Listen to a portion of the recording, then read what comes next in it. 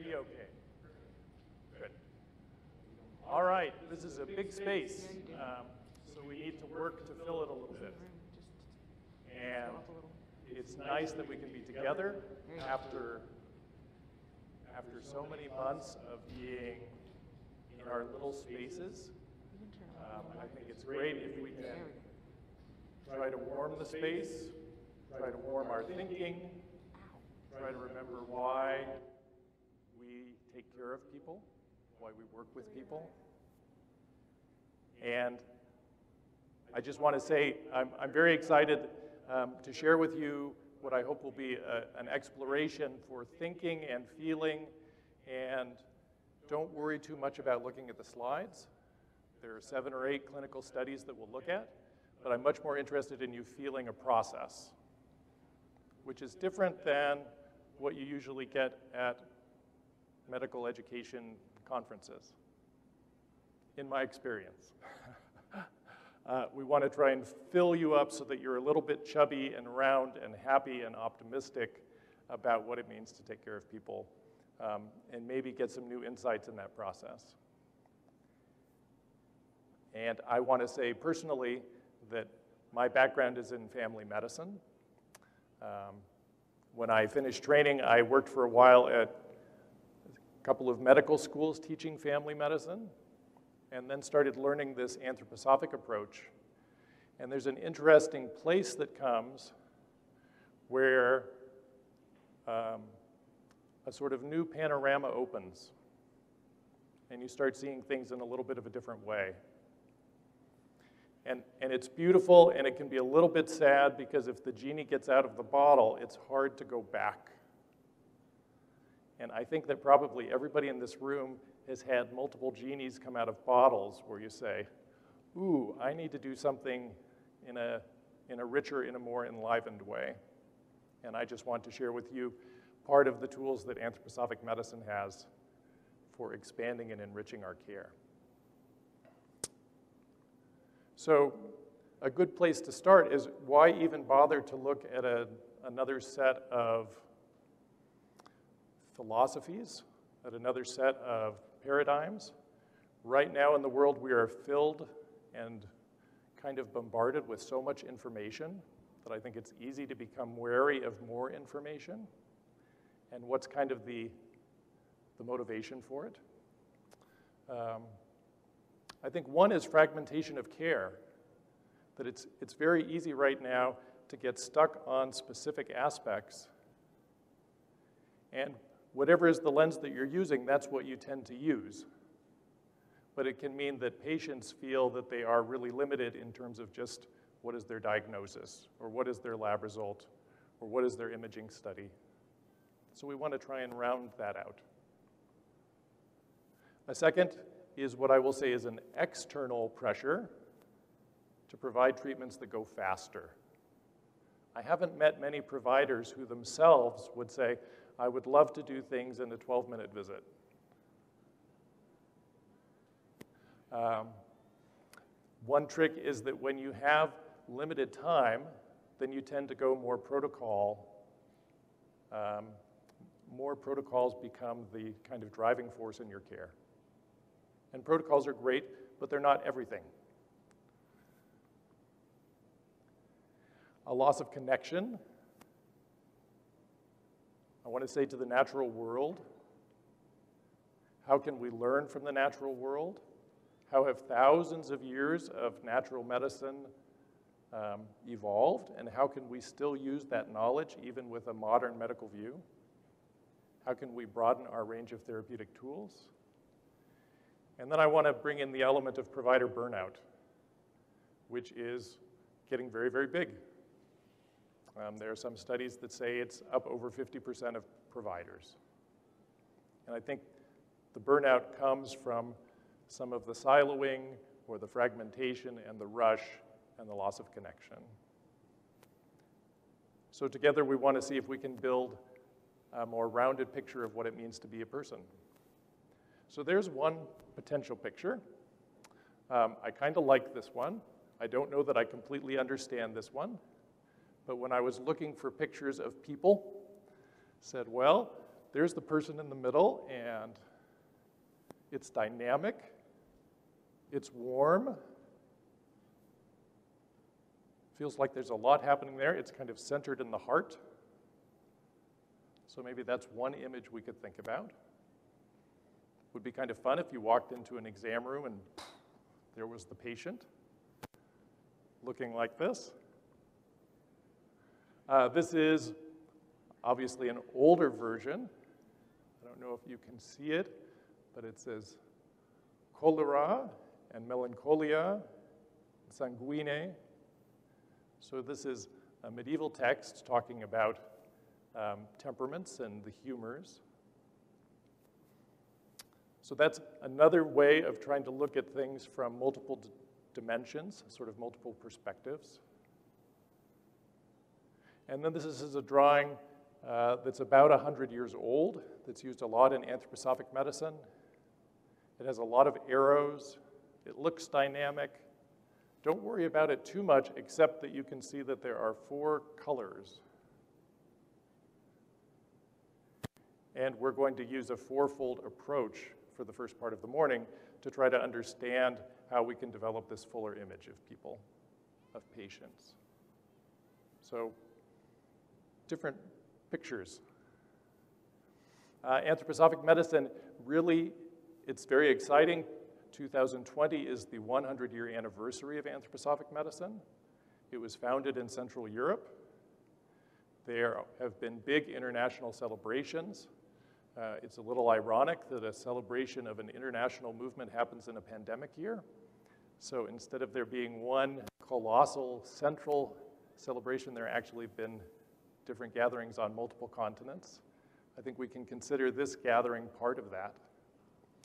But in 1920, Rudolf Steiner, who is um, the philosopher, the scientist, the writer, the educator who helped bring many of these ideas into practical action. He was talking to medical students.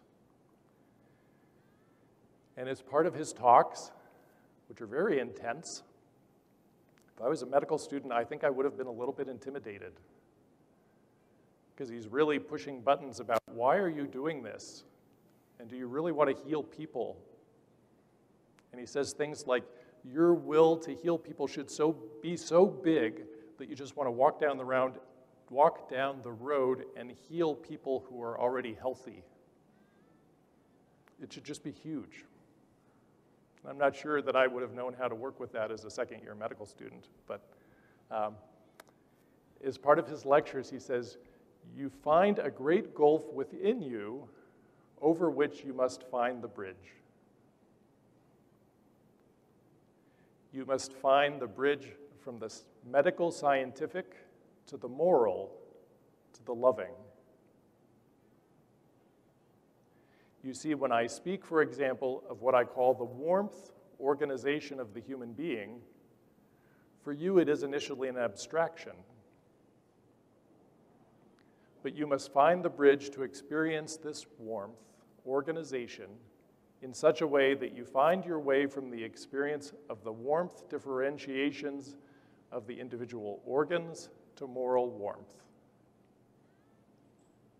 Would you have understood that as a medical student? Okay, well, this is a preview of what we're going to do this morning. We're, we're going to build warmth bridges. He finishes what he's saying, and with this sort of wrap up, you will have to experience what is called heart warmth in such a way that you will feel this warm heart right into the physical. You will have to find the way from the scientific, physiological to the spiritual, moral, and from the spiritual, moral to the physiological, anatomical. So, this is the book where this is described. There's a nice picture of a bridge. I was looking for pictures of bridges and I found this, and actually, um, this is a city in southern Germany where I did a year of college, and my dorm was in this building. Not in the tower, but in this 600 year old building. So I just had to throw that because it's a beautiful picture. So, how do we usually think about warmth? at this moment, Stephen already mentioned it. Is your what is your temperature? You might be wondering, is it safe to be in the room with this man? 99.3, oh, borderline. Kind of revved up while I'm talking. But um, we're thinking a lot about temperature and is it safe, right? Which is appropriate. It's a good tool. And we think about what kind of temperature is most accurate. Does this little thing do a good job?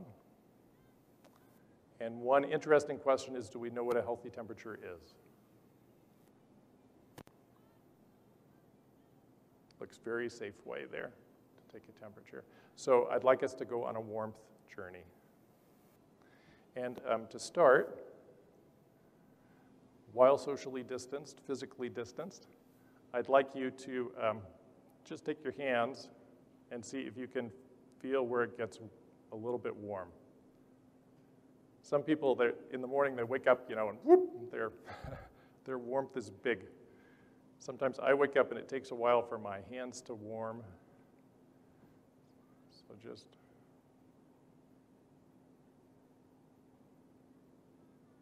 yeah, sort of there for me today. it's kind of interesting. You could you can try it different places. If we could be closer together, it's fun to take another person and feel their warmth. Sometimes even from behind. So there's a temperature, a measurement that's warmth, but there are also different ways that we can feel warmth. Um, as part of anthroposophic practices, there's a movement therapy called eurythmy.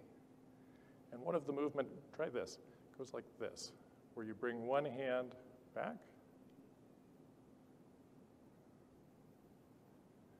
And there's a kind of streaming. This is a, really nice way to build some warmth. And sometimes when your hands get closed, you can, whoop, yeah, I just, there's a little warmth there. And actually, if we, if we did this exercise, you can do it both hands together. This is a really good way to build warmth, actually.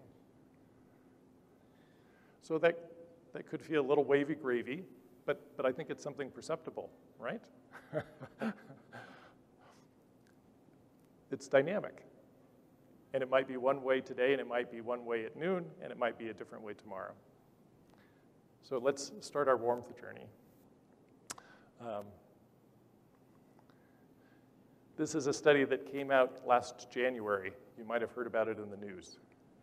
Decreasing human body temperature in the United States since the Industrial Revolution. Did anybody see that or hear about it? And it was NPR, and it, it, made the, it made the news for a little bit. So published January 7th.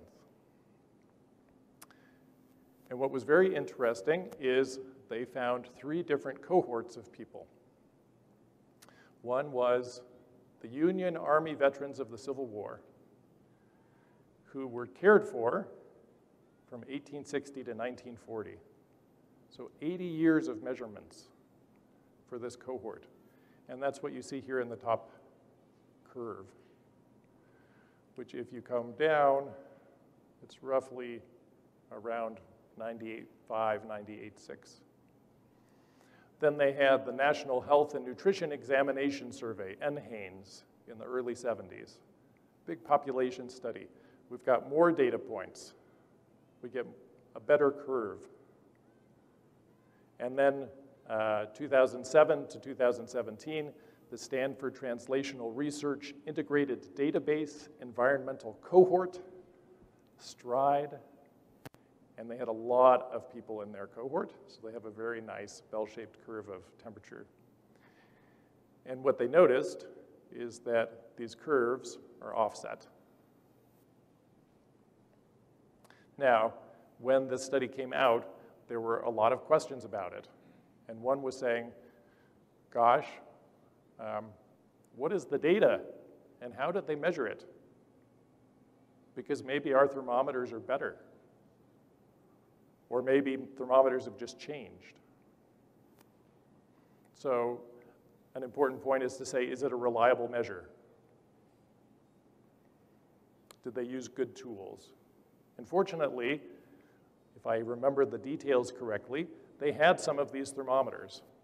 You know, so they could sort of look, they were mercury thermometers, old, old thermometers, but they could look and say, oh, the way it's scaled, it still measures correctly today compared to what we would expect.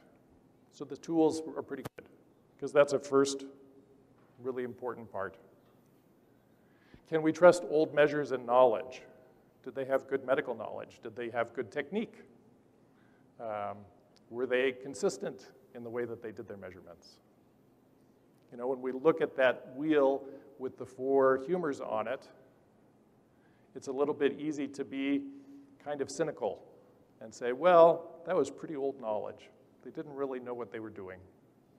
And we know a lot more now. So a lot of questions about this study was saying, well, how did they do all of these things? And then how many times did people look? What was the statistical significance? So um, this is temperature trends within the birth cohorts. And what they looked at was birth decade. This is for that first Civil War cohort. And what they found is that people born in the 1820s, that's the kind of turquoise line, as they lived to be older, they measured up to 80, their body temperature slowly decreased. And that's not unusual because we know that body temperature does change. If you have a fever of 102 in an 18 month old, not such a big deal. If you have a fever of 102 in an 80 year old, big deal probably. Um, 1930s, if that was their birth decade, similar trend, but it went lower.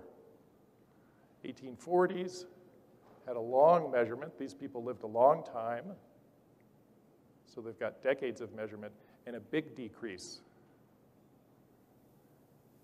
So there's something about being born a little bit later that body temperature got lower. And I think this, is, this doesn't quite fit our normal thinking. And that's why people said, did they have good thermometers? Did they know what they were doing? This doesn't quite, quite make sense. Um, they looked then at uh, curves for men and women in both white patients and black patients. And what they found is that year of birth, so again, we're looking at um, birth years or birth decades, is that as people were born later for men and for women, both white patients and black patients, that the temperature goes down. So we could almost say a risk factor for having a lower body temperature is being born later.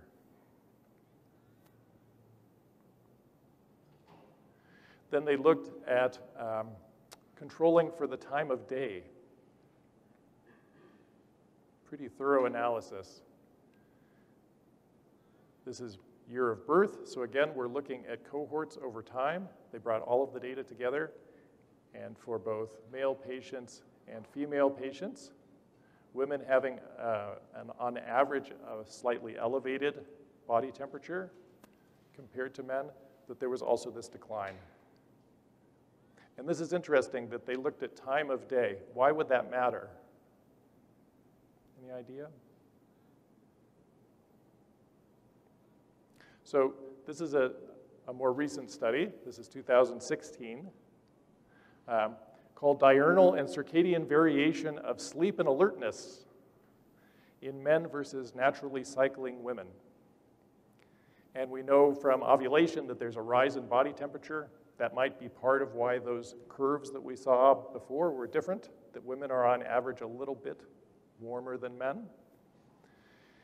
And so this is a scale of sleepiness versus alertness, which over 24 hours goes up and down. That makes good sense. And then they looked at melatonin production, which we'd also expect to go up and down. And then they got to body temperature, which also fluctuates in the sinusoidal curves. So it makes a big difference as to whether you are measuring at peak temperature versus base temperature, about a sixth of a degree Celsius, pretty significant. So if in the 1860s everybody was measuring temperatures uh, in the late afternoon because that was their nursing protocol, that could throw off the study. Um, but what I want to say is there are ways that we can look at warmth which are just factual, and then there are ways that we can start to look at warmth which are dynamic. And just by difference of birth decade, 1820s, 30s, 40s, we see that the temperature is different. And when they looked at this cumulative data, it's a little bit like rings in a tree, that it changes each time.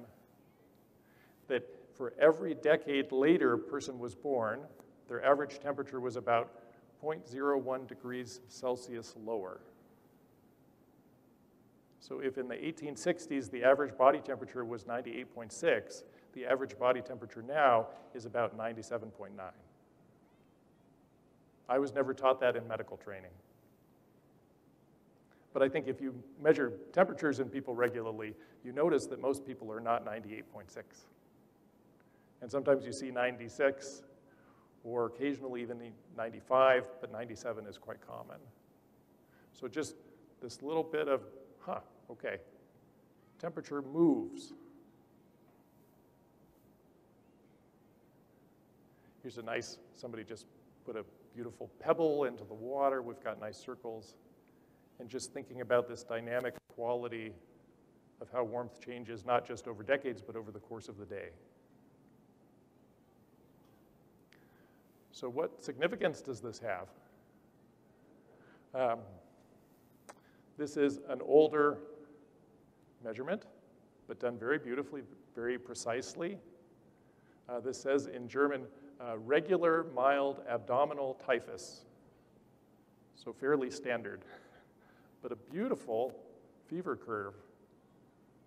Twice day measurements, seeing tremendous variation from day to day over the course of the illness. And that actually, if you are measuring always at the lower part, versus the upper part, you're going to have probably a different clinical picture. Just to show here with um, the peak of the illness, the temperatures were getting up to almost 106. We don't let that happen very much. But 106 to 103 and a half, pretty big difference. Okay, so now I want to take a leap into why this is clinically practical. It, it's not just fun to think about. This is um, an average fever curve for an acute illness, where we can see we've got some variation. This is measured in hours. It doesn't say an exact scale, but we would expect there's some variation. And then there's going to be shivering and vasoconstriction as the fever rises. This is when people really are uncomfortable. Achy, maybe right in here is where you start to say, ooh, I think I'm starting to come down with something. My appetite is off, um, or I have strange cravings, my body hurts. And then our body reaches its goal, its peak temperature, and maintains that for some time. And then we go into a process of warmth release, of sweating and vasodilatation. So that's not so unexpected. Now, if we take the same curve and think about it dynamically, then we would say, oh, what is the body trying to do? It is needing to build warmth. That's its whole goal. And this is not the illness, this is the immune system building warmth, right? We need later on to move to release warmth. Once the body has achieved that maximal warmth state, at a certain point it says, that's enough. And that's when you get so hot and you want the covers off.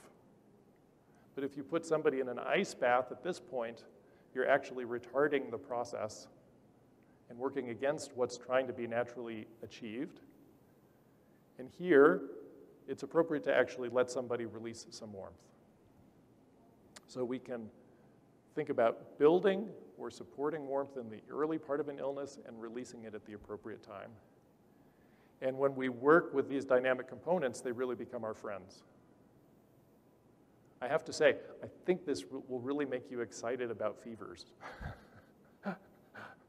you go, oh, there's something good happening here. I don't just, I have to be thoughtful and I have to look at it as an important marker, but I don't have to get locked into it in terms of fear. So, what if we work to better understand the dynamics of growth and change? And if we start thinking not just about a single measurement, but about time? This is a study from 2014, an anthroposophic study of acute respiratory illnesses and ear infections. So this, this is an interesting curve. We can see days of illness, and they've got diamonds for the anthroposophic treatment and little pyramids for conventional treatment. And what this graph is measuring is time to first improvement. So um, let's see here. Day one, about 40% of patients being treated anthroposophically felt an improvement. Day one for conventional treatment, let's, maybe that's 22%. Uh, what's interesting is that when you try to get up here towards 100, this is about day number four, looks like, for the anthroposophic treatment. And to get that level of conventional treatment is about day number six. There are a lot of things like um, antiviral treatment for flu that are finding or working to create similar changes in faster resolution of symptoms. So this is a kind of measure that we would work towards. And you say, well, that's nice. Okay. This is what's juicy. this is um, comparison to other studies in terms of antibiotic prescription rates. And we've got cough and bronchitis, sore throat pharyngitis, ear pain otitis, and upper respiratory tract as a general diagnosis. And look at the antibiotic prescription rates. We've got close to 70%, mid 50s, 20% anthroposophic treatment in the single digits. Sore throat pharyngitis, single. All of these, you can see there's a very similar change in terms of people are actually feeling slightly better sooner, and the amount of antibiotics that have to be prescribed is a fraction of conventional treatment.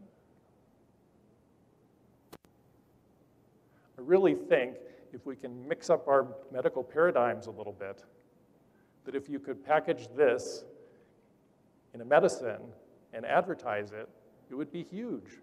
These are big statistical differences. And antibiotic resistance is a big problem. Part of what was being worked with is recognition that when the fever is rising, you don't interfere in that process. You can modulate the fever. You want to make sure that somebody is safe, but you're not working to completely suppress that inflammatory response. There are other aspects too. There's a lot of herbal treatment. There are ki different kinds of external treatments of compresses and oils and ointments. Um, but I would say an important part of working with acute illnesses is this recognition of the dynamics of warmth and fever. What does anthroposophic actually mean? It is not a very sexy marketing term. But it's an important word. It's important because anthropos means the human being. And Sophia means wisdom. This is a striving for, we could say, into the true nature or the whole nature of the human being.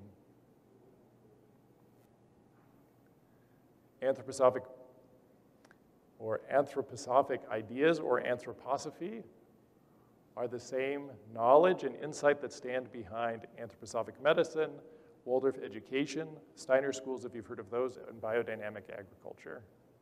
So it's something that's been brought into multiple areas of life. And anthroposophic medicine itself is practiced in about 60 countries. And I have a very happy job that I work um, on the board of an organization, the Anthroposophic Health Association, where we've got practitioners of medicine, nursing, uh, body therapies, arts therapies, movement therapies, all trying to see how do we work in parallel ways together to build this bigger picture. So I want to just quickly review. What step did we take in there? Because it was a little bit slippery maybe, but I hope it wasn't too strange. Um, there are facts. What is your specific temperature measurement? And then there's flow. We could probably think of better words, but these are the good ones I have today. We could think about what is the temperature versus when is the temperature.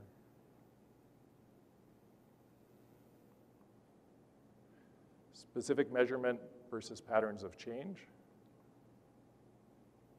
Anatomy versus fluid. So now we're just making the concept bigger. It's not just about fixed structures, it's about flowing structures. This is the Greek physician Asclepius caring for a patient. And the Greeks talked about this kind of differentiated approach in terms of earth, water, air, and fire. So I think they, have, they were onto something. Um, and within anthroposophic medicine, the terms that are used for these four levels are physical, etheric, astral, and I. Probably unfamiliar terms, but they're very specific descriptions of different ways of seeing. Um, the second level of flow is usually described as the etheric organization for a human being. And where um, the physical body or the structure is about facts, time and flow are related to each other. This we had on the last slide. There's that anthroposophic word again. And then we could say, well, how can I really observe this? And say, well, if you look at a mineral, at a stone, it has testable components. Um, it has a structure, it has physical mass. If we look at the plant world, we start to th see things change in time. And we see processes of growing and dying. And if you're looking at a person and you're trying to understand the difference between these two, you can look at a corpse and you can look at someone deeply asleep, and obviously there's a difference. This will make more sense when we go just a little bit further. But there's something, but even someone who's in a coma, who's not responding to you in any way, there's something different between a person in a coma and a person who has died. And that's this level of the etheric of growth forces, of formative life forces. The Greeks spoke about this aspect as the archeus. I am not an expert in traditional Chinese medicine, but from my perspective, from an anthroposophic side, there is much overlap between an understanding of qi and the etheric. And I think if we looked at many different traditional healing streams, we would find different words and different descriptions for the same process. Anthroposophic medicine is trying to bring that perspective and unite it with modern medical knowledge. Okay. So my question is, what are other places where we can watch dynamics of time and change? And what does this add to our clinical approach? And so that you don't become too mineralized, and we're 50 minutes in, if you'd like to stretch for a moment before we go to part two, and just think, are, are there any clinical areas where you can see this differentiation from strict factual measurement to flow and dynamic? Or if you had a different burning question.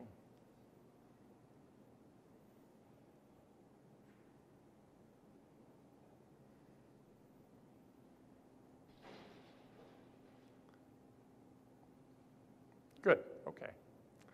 We'll have more time for questions. Or did you have something? Nope, okay, good.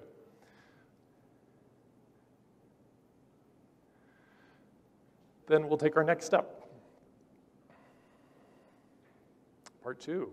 You didn't know you were going to get a three-part introduction, did you? so we still want to look at fourfold clinical insights, but we're going to look at the next two levels